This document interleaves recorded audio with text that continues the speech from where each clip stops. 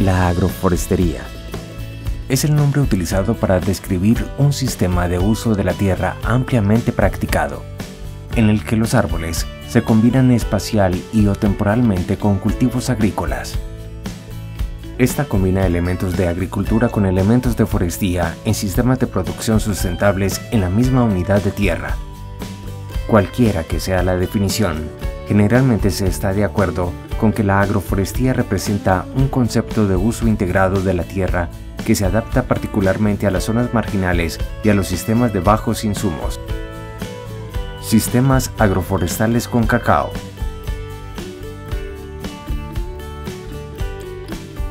La agroforestería per se es un sistema milenario, la gente lo ha utilizado en sistemas naturales y en la Amazonía y en el general en el trópico húmedo es muy común encontrar sistemas diversos de árboles creciendo de diferentes estratos de alturas, eh, periodos de producción, eh, con cultivos.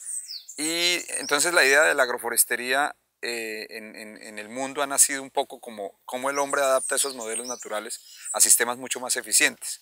Y la eficiencia de la agroforestería, digamos, se ve muchas veces por el lado biológico, por todo ese tema de aporte que hace en servicios ecosistémicos y en la producción diversa que se puede obtener. Entonces, nosotros lo que estamos haciendo es probando muchos de esos modelos, combinando muchas de estas especies para tratar de adaptarlas a sistemas agropecuarios, a sistemas agrícolas de los agricultores. Mediante la combinación de la producción agrícola y forestal se pueden alcanzar diversas funciones y objetivos de la producción de bosques y cultivos alimenticios. En cuanto a la implementación de sistemas agroforestales, se pueden encontrar dificultades, pero existen grandes ventajas ambientales y también socioeconómicas de los sistemas integrados sobre la agricultura y o monocultivos forestales. Una de las grandes dificultades que tiene el, desarrollo agroforestal en nuestro país es que nosotros copiamos en los años 50 y 60 modelos de producción de, otros, de otros lugares no tropicales. Entonces, cultivos, eh, digamos, de rápido crecimiento, como la soya, como el arroz, eh, el maíz, el trigo, y esos modelos pues son muy basados en, productos de rápida, de, digamos, eh, de rápida cosecha. Cuando hablamos de sistemas agroforestales, son sistemas mm, de tardío producción, combinados obviamente también con algunos de estos cultivos de rápido crecimiento, pero eso, eso hace que el pensamiento nuestro tenga que cambiar hacia que podamos pensar en sistemas de largo plazo que no nos van a producir solamente al año y, o a los seis meses, sino que vamos a empezar a producir con ellos a los tres, cuatro, cinco, seis, siete años. Entonces, digamos que esa ha sido como la mayor dificultad para adoptar estos, estos modelos agroforestales, el pensamiento eh, de, corto plazo y obviamente la tecnología que hemos generado es, coincide con lo que decíamos hace un momento, ha sido más para, para cultivos transitorios que para cultivos de largo, de largo rendimiento. La efectividad de las técnicas de agroforestería está comprobada, siendo de gran potencial como modelo de utilización sustentable en la finca. Su correcta aplicación implica disponibilidad de maderas para todo uso, desde leña a maderas para muebles finos, alimentos para autosustento e incluso sombra para cultivos, plantas melíferas y se amplía el área de conocimiento del productor rural. De ahí la importancia de implementar estos sistemas. Bueno, la importancia para nosotros de la agroforestería y que queremos transmitirle a los agricultores es en el caso, por ejemplo, de caucho y de cacao, que son como esos cultivos eh, principales con los que estamos haciendo investigación, es que no dependan ellos de solamente un ingreso. O sea, si dependen de caucho, van a tener que esperar ocho años para empezar a producir. Mientras que si ellos juegan a la agroforestería, hacen arreglos agroforestales, ellos pueden en un momento dado generar ingresos en esos ocho años, pueden también generar ingresos en los periodos críticos como el de hoy en día, donde el precio del látex se ha bajado, entonces tienen unos ingresos adicionales. Lo mismo pasa con cacao. Si nosotros logramos que la gente siembre cacao con unos sistemas agroforestales que no sean solo para producirle sombra al cacao, sino que también le produzcan ingresos adicionales al productor, pues vamos a lograr que ellos mantengan digamos, una, una, canasta más diversa de su producción y pueden en las épocas de bajos precios tener compensación con, la venta de otros productos por mejores precios o por la diversidad misma que tengan. Entonces digamos que esa es una de las principales eh, ventajas de la agroforestería.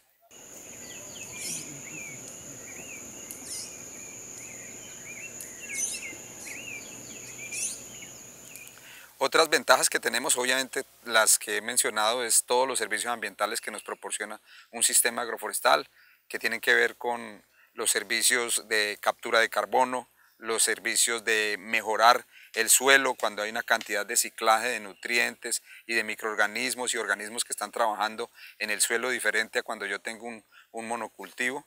Eh, también aumenta la biodiversidad en términos de aves y otras cosas podemos regular más los flujos de agua, etc. Y por último, pues por ejemplo en el caso de cacao, eh, yo siempre destaco que es muy importante la agroforestería ordenada porque permite que a cada mm, planta de cacao yo le pueda dar un nivel de sombra adecuado, regulado, mm, planificado, no, no exceso de sombra o no déficit de sombra, porque eso hace que las plantas no puedan crecer uniformemente en el caso de cacao.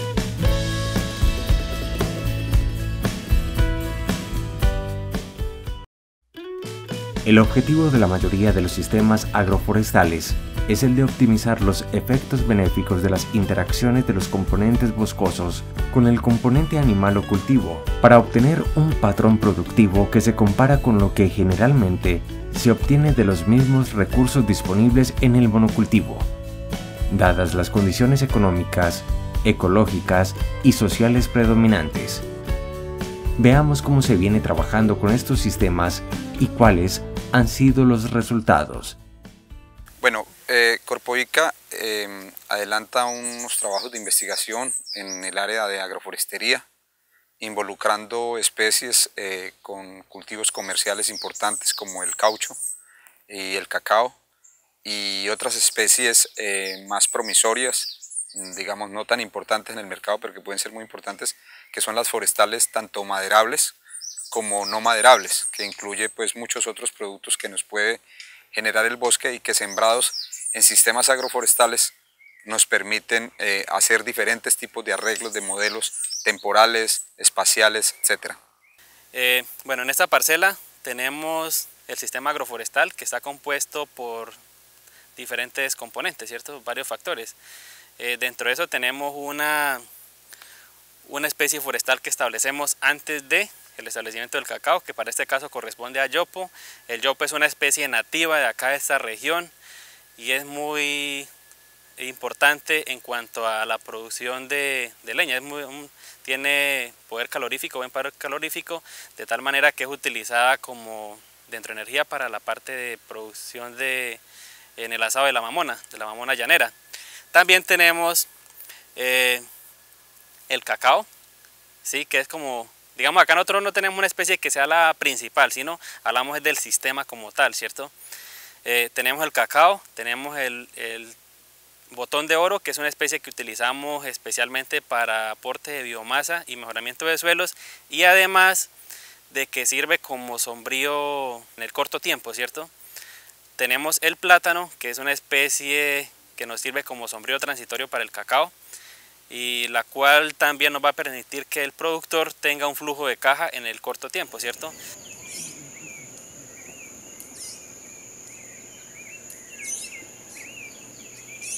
Lo primero que hacemos es establecer el, forestal, ¿sí?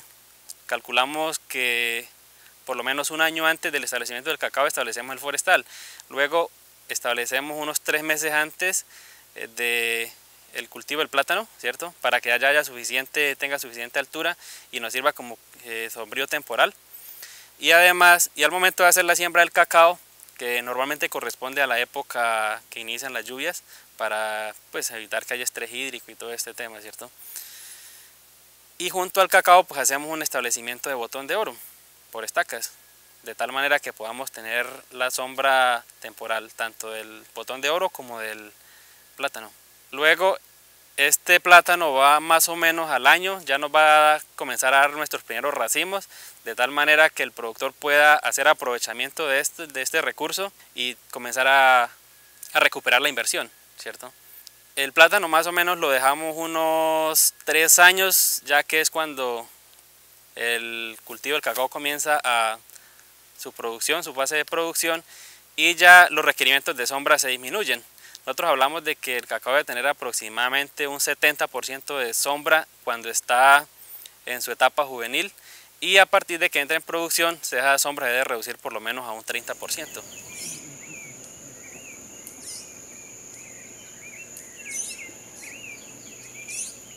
Cuando el, el agricultor siembra cacao con un sombrío, eso es un sistema agroforestal tal vez disperso, tal vez no tan ordenado. Nosotros estamos insistiendo en que ese sistema agroforestal tenga unos, unos ordenamientos para que, repito, le dé la sombra adecuada al, cacao, que también tenga una distancia adecuada. Muchas veces cuando se junta mucho el cacao con la especie forestal, eh, comienzan a haber problemas de competencia, comienzan a haber problemas de exceso de sombra. El cacao es una especie que necesita sombra y, ese, y esa sombra que necesita no puede ser tan excesiva también porque entonces baja su producción. Entonces e, el tema de ordenar esa producción con un doble surco de árboles, por ejemplo de abarco, o un doble surco de palmas como esta que está aquí que es azaí, o un doble surco de, de palmas como la de chontaduro, o un doble surco de especies como de jagua o de uva caimarona, etcétera, eso permite que yo pueda tener una población de árboles de cacao con una adecuada sombra, ¿sí? pero también un crecimiento de especies que en el transcurso del tiempo yo puedo cortar para madera o sacar frutos o sacar algún látex o sacar algún tipo de beneficio como un producto forestal no maderable.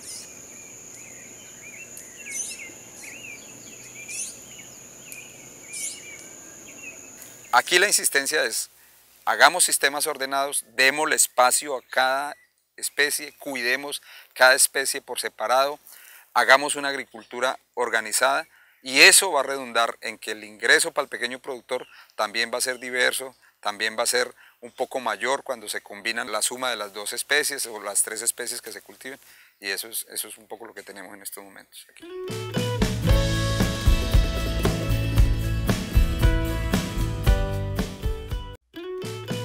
Las asociaciones entre árboles y cultivos agrícolas anuales o perennes pueden realizarse con especies forestales nativas o exóticas.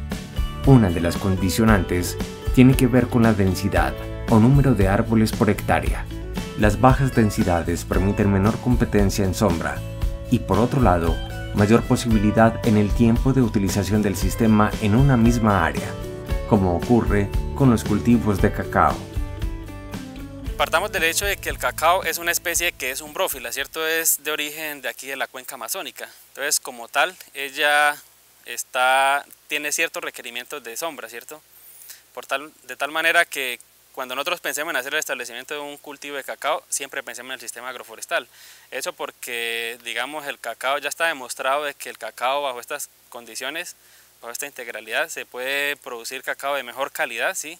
Para el mercado se pueden producir cacao finos, y además de que se tiene un componente adicional que para el caso de la madera, para el caso de los productos no maderables, ingresos adicionales. Y hay otros factores de tipo ambiental, como los servicios ecosistémicos, que ahí incluye la, la regulación de los ciclos hídricos, la captura de carbono, toda la parte de entomofauna, de avifauna, que se aumenta.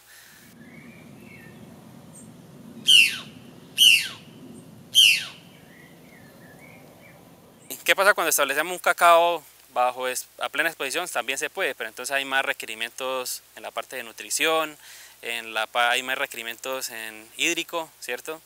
Y además la vida del cacao va a ser menor, ¿sí? Porque los procesos fisiológicos se aceleran a medida que aumenta la temperatura.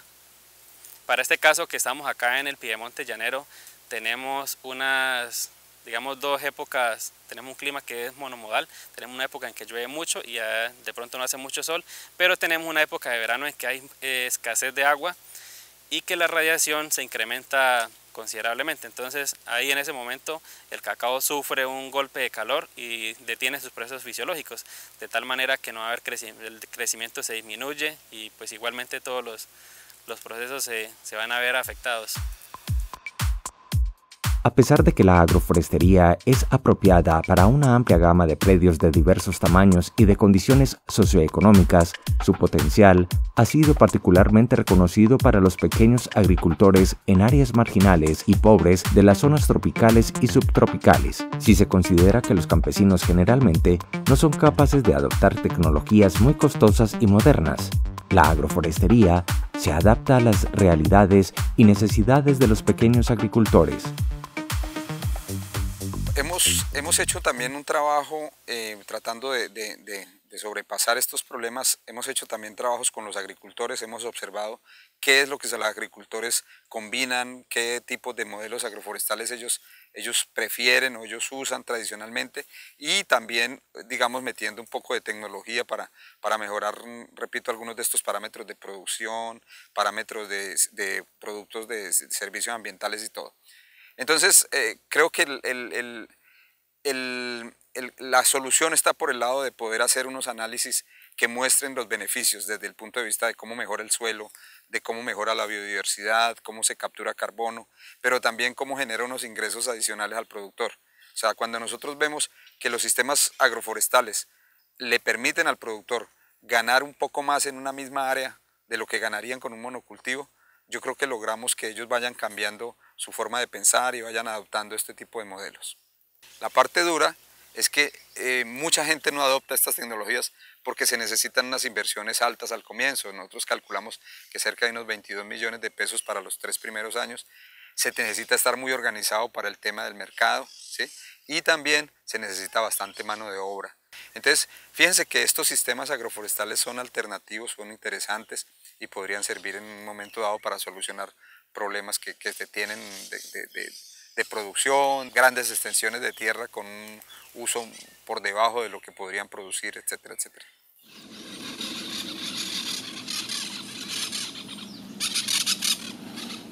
En los trabajos que hemos hecho a nivel de fincas, sí hemos encontrado bastante, digamos, eh, eh, esa dificultad realmente, porque uno dice, bueno, si, si un caucho con una pimienta es tan bueno, ¿por qué la gente no lo adopta? ¿Por qué la gente no, no sale a correr y, o por qué con rambután hacemos cacao? ¿Por qué con esta madera?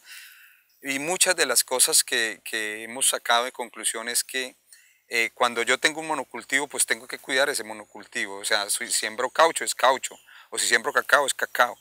Cuando yo ya mezclo dos especies, pues va a tener que doblar mi capacidad de trabajo, tengo que doblar los cuidados y si tengo tres especies tengo que triplicar el cuidado. Entonces eso hace muy complejo para agricultores que se han quedado solos, que ya por su edad, eh, digamos, les cuesta mucho más trabajo hacer muchas de estas actividades. Entonces, entonces ahí nosotros ahí reconocemos que, es necesario también que tecnifiquemos mucho más la producción, que le facilitemos a los productores eh, algún tipo de equipamientos para que la cosecha, por ejemplo, de cacao no tenga que ser tan manual, o desarrollos que permitan facilitar eh, eh, esos trabajos, esas actividades, porque sabemos que, eso, es una, eso es una dificultad. La otra dificultad pues es obviamente el tema del pensamiento de largo plazo, porque cuando uno le dice a un productor de, de 50, 60 años, bueno, vamos a trabajar un sistema, pero le empieza a producir dentro de 10 años, ellos dicen, no, nosotros yo ya, yo ya quiero terminar aquí con esto. No. Entonces ahí hay que tratar mucho de, convencerlos, de, motivarlos a, que, que se adopten este tipo de tecnologías de largo plazo.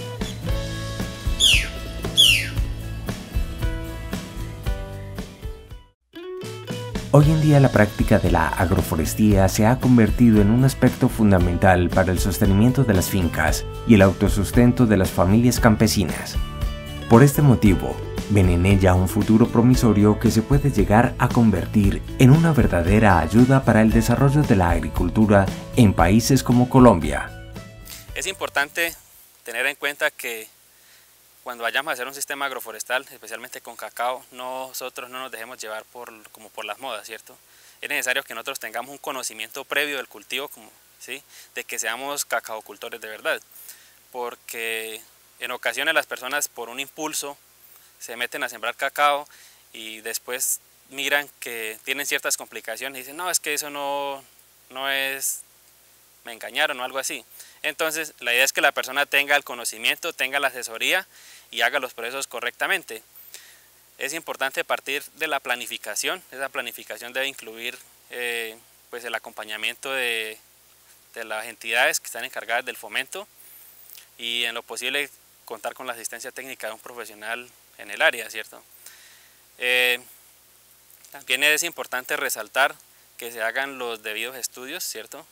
Eh, que miremos, tengamos en cuenta el suelo, que tengamos en cuenta las condiciones, todas las condiciones ambientales de la zona y que utilicemos materiales de buena calidad, que provengan de viveros certificados, que sean con materiales que nos garanticen un...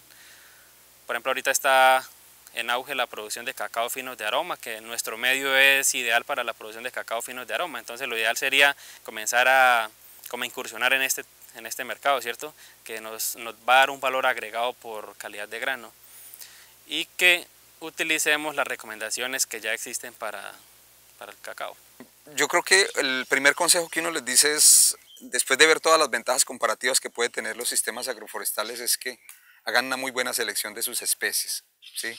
¿Por qué? Porque, eh, bueno, el cacao tiene mercado, caucho tiene mercado, pero si yo voy a sembrar un chontaduro, si voy a sembrar un azaí, o un cacay, o un ubito, o un rambután, cualquiera de esas, yo tengo que tener en cuenta que, que, voy a tener que tener claro dónde voy a vender eso, dónde lo voy a vender y todas esas cosas. Entonces yo creo que el mercado empieza, es el primer paso para uno planificar.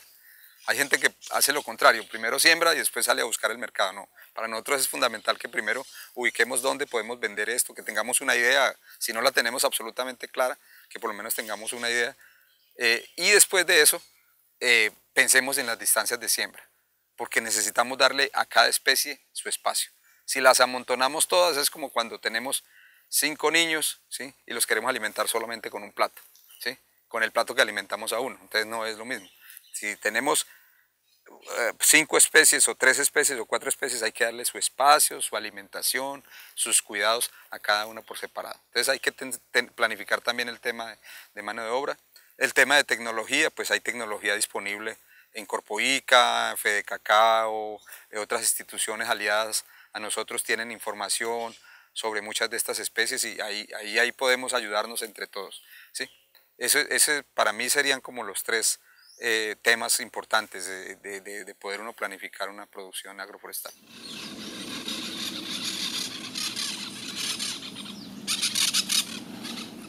El objetivo de, hacer estas investigaciones, de, hacer estas, eh, de analizar estos modelos y estas experiencias que tienen los agricultores es básicamente tratando de que la gente adopte, que la gente, muchas de estas ideas, eh, repito, no como una como un paquete o como una cosa de, camisa de fuerza, sino que capten ideas y digan, miércoles, a mí me interesa mucho el tema de cómo puedo producir más que, solo cacao, más que solo caucho, o más que solo un frutal X. No, yo quiero combinar un aguacate con, cacao, pero quiero combinarlo ordenadamente. Eso es lo que queremos impactar, eso es lo que los llamamos para que los agricultores entiendan la filosofía de la agroforestería, entiendan que es un mundo complejo, pero que también va a tener beneficios ambientales y, ¿por qué no, económicos? Eh, y que nos ayuden a, difundir más y a, adoptar más este tipo de, de tecnologías.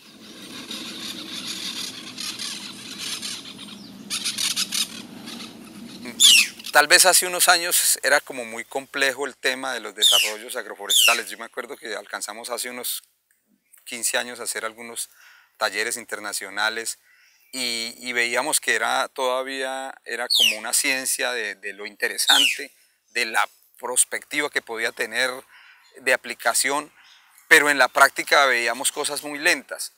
Yo creo que con los TLCs que ha firmado Colombia, que son más de 50, no sé cuántos, y con toda esa posibilidad que hay de que nosotros eh, sí, llenemos los mercados nacionales con cosas diferentes, pero también, ¿por qué no pegarle a mercados internacionales? Yo creo que eso abre unas puertas interesantes para este tipo de tecnologías. Todos sabemos que hay, hay cultivos en los que no vamos a ser competitivos, que tenemos que competir con, con países que, cultivan muy bien otros productos. Yo creo que estos productos nuestros, que son de nuestra biodiversidad, que pueden tener unos nichos de mercado bien interesantes, tenemos que combinarlos y, hacerlos jugar en el, mercado nacional.